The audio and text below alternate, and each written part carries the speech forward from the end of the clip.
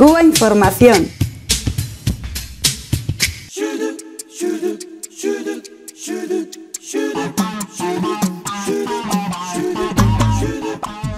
Bueno, vamos a seguir con el programa, en este caso hablando de economía. Eh, el Parlamento cubano ha estado analizando los cambios eh, económicos que se han venido implementando en Cuba, también hablando de cambios eh, que se piensan implementar, del ritmo de estos cambios. Y bueno, tenemos un poco la mirada del gobierno, está interesado, tiene la mirada puesta en este importante aspecto. Así que vamos a hablar un poquito sobre esto.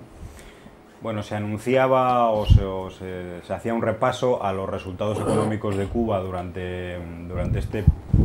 esta primera mitad del año 2013. Se hablaba de un crecimiento del 2,3%, de que la economía cubana finalmente pues, crecerá más o menos un 3, entre un 2,5 y un 3%, algo menos de lo previsto. El propio presidente cubano decía que a pesar de los cambios y de las mejoras y de los avances en algunos aspectos, Todavía la familia cubana no está notando, digamos, de una manera clara mejoras. La familia cubana media, él además dice la familia cubana promedio, es decir, sí es cierto que, puede haber determinados sectores minoritarios que estén siendo beneficiados por el, proceso de, transformaciones, pero todavía es, eh, un poco, eh, sería precipitado hablar de, avances sustanciales. ¿no? Eh, se hablaron de algunos aspectos, como que bueno, pues el, tema de la deuda con, con, prestamistas internacionales es algo medianamente resuelto, algo bueno, pues que ahogaba la economía del país, las finanzas del país, sobre todo desde el año 2008, cuando los, tres grandes huracanes que asolaron al país, que hicieron que, bueno, pues que, la economía del país se concentrara en lo más fundamental que es en la recuperación de las, de las centenares de miles de familias damnificadas y que más o menos este asunto está resuelto. ¿no? Pero también eh, se comentó que el asunto de la que es algo central en la problemática económica cubana, que es la importación de alimentos, sigue sin tener un camino positivo, en el sentido de que el país se sigue gastando 2.000 millones de dólares cada año en comprar comida en el exterior, cuando es un país indudablemente con un potencial agrícola, cuando el Estado está cediendo tierras por miles a, decenas de miles de familias en el país, pero digamos que todavía el resultado de, este proceso de cesión de tierras gratuitas en un sufructo por parte del Estado no tiene los resultados eh, que, se necesitan y que se requieren, ¿no? En el sentido de que, bueno, que el país avance hacia la soberanía alimentaria y no dependa de gastarse tantísimo dinero en comprar comida. Y bueno, se hablaron de, esto y también, como tú decías, de, los cambios que vienen, que vienen sobre todo, se es muy conocido el asunto del cuentapropismo en Cuba, que, que hay un sector de población que ahora se dedica al trabajo por cuenta propia, es muy conocido que se están introduciendo las cooperativas en algunos sectores económicos no, no, o sea, fuera de la agricultura, pero lo que viene ahora es una transformación profunda de la empresa socialista estatal, en el sentido de que va a tener más autonomía, los trabajadores van a tener salarios diferenciados en relación a, bueno, a, producción, a resultados, a beneficios o no de sus empresas, etcétera, etcétera. Ahora viene la etapa, como bien se ha explicado, eh, más compleja y más difícil de la implementación de los lineamientos aprobados en el último Congreso del Partido Comunista de Cuba. Eh, yo creo que aquí eh, es, importante, primero la toma de conciencia, y la toma de conciencia también tiene que ver mm. con, la, con lo que estamos hablando anteriormente, ¿no? Eh, la disciplina, el orden, la exigencia, la sistematicidad y también el control. O sea, es importante primero eh, saber los recursos con que se cuenta y la importancia de ahorrar o optimizar esos recursos. Y tiene que haber una conciencia de que este es el periodo decisivo para el avance, no solo la, la sino el avance de la revolución cubana y del sistema social. Raúl ha hablado de una, cuestión que yo creo que es eh, eh, bueno, medular dentro de todo esto y es la doble moneda. O sea, la,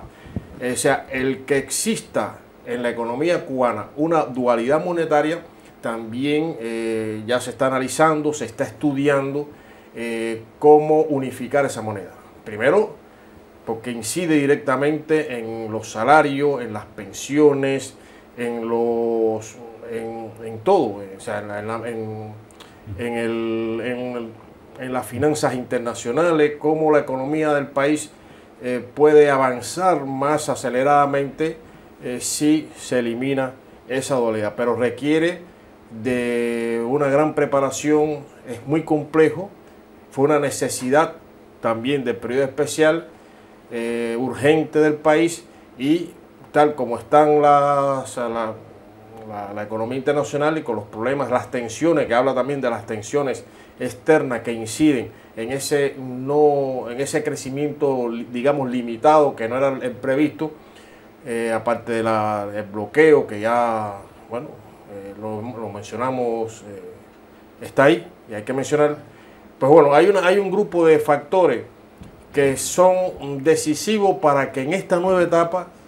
eh, haya una, una, implementación correcta, un avance correcto de, todo este proceso. Él dice que hay que eh, eh, sistematizar, que hay que, si hay un fallo o un error, pues revisar la revisión oportuna para rectificar,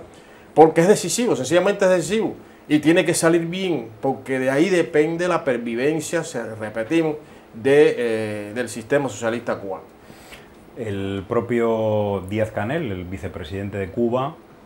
recordaba también hace unos días en, una entrevista que hay 70 centros de investigación cubanos trabajando en los cambios económicos y no solamente trabajando en los cambios económicos, sino incluso en la producción o actualización de la propia ideología de la revolución. En la actualización, del, por cierto, del marxismo, eh, donde Cuba eh, evidentemente tiene que ser un referente internacional. Ah, ah donde, donde en Cuba se lleva a la práctica se lleva a la práctica precisamente la teoría y práctica del, marxismo adecuado a las circunstancias históricas y a las circunstancias geográficas de un país eh, como es Cuba. Y lo que tú decías, en Cuba se, da una serie de procesos, existe un camino para implementar los cambios, se hacen siempre primero una serie de experiencias piloto,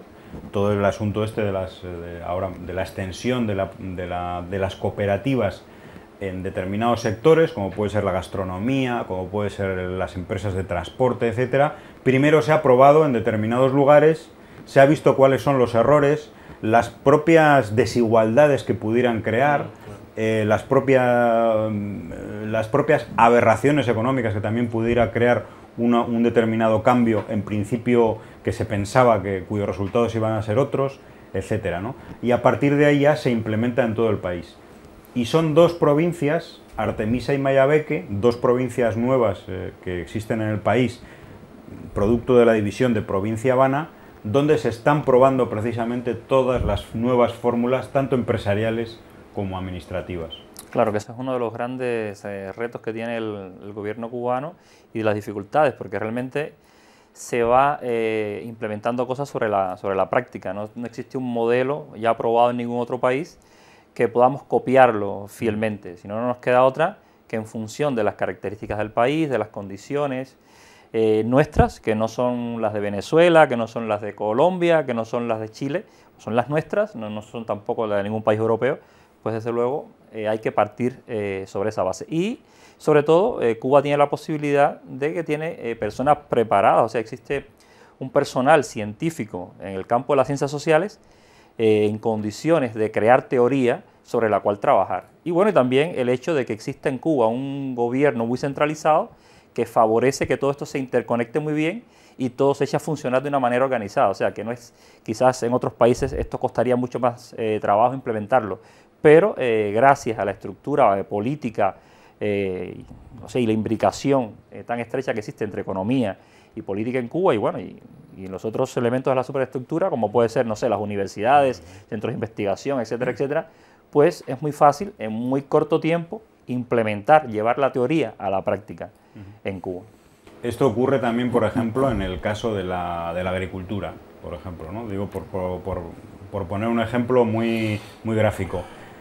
En Cuba existen eh, bueno, miles de cooperativas eh, agrarias, pero a la vez existen centros de investigación agropecuaria vinculados a universidades que trabajan con esas cooperativas.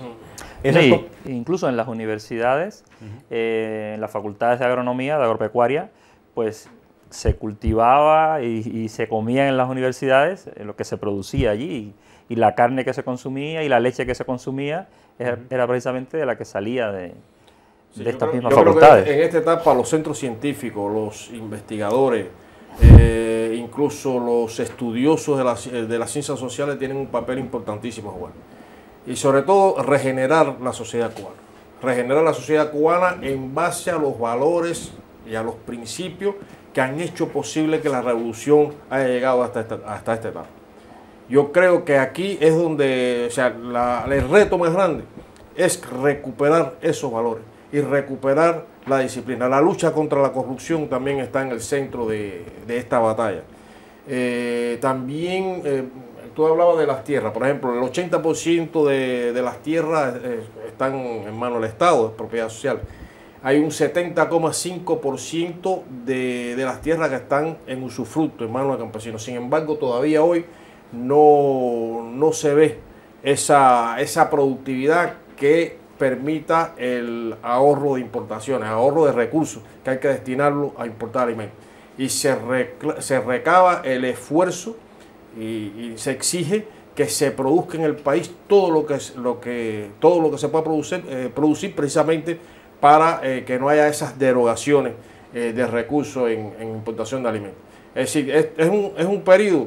realmente también ilusionante porque el país, como en ninguna otra etapa, tiene las condiciones, tiene los, los resortes y la, la preparación de la gente para revertir la situación. Lo que hay es que activar, incluso Raúl estaba hablando de que si hay que aplicar la ley, hay que aplicar la ley, porque se ha sido bastante tolerante, bastante eh, generoso y esto ha dado pie a un desarrollo mayor de, estos aspectos negativos que al final son los que inciden eh, contra el, el sistema. Y sobre todo se está hablando de economía que es esencial, es una etapa que hay que solucionarla y tiene estas varias aristas, aristas importantes, entre ellos el tema de la doble moneda, que yo creo que es uno de los, aspectos, si se, en un breve, es complejo, pero si en un breve periodo de tiempo se soluciona este tema de la dualidad de moneda, eh, cambiarán muchas cosas también en todo el, el entramado económico y social de la población.